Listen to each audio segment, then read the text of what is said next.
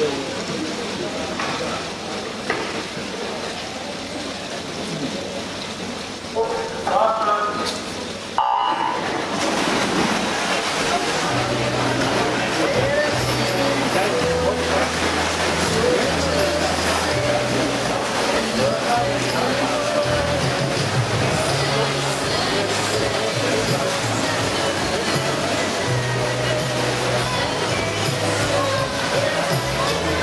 Uiteraard we de dames ook.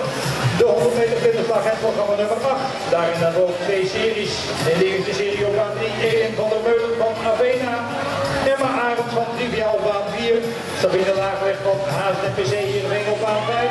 En op baan 6 voor Delta Steun Sabine van der Kool.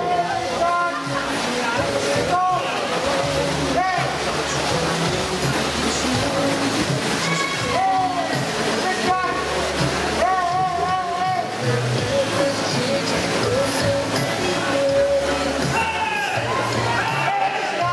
zijn de dames 4 en 5. Willem-Jan en Jelmer.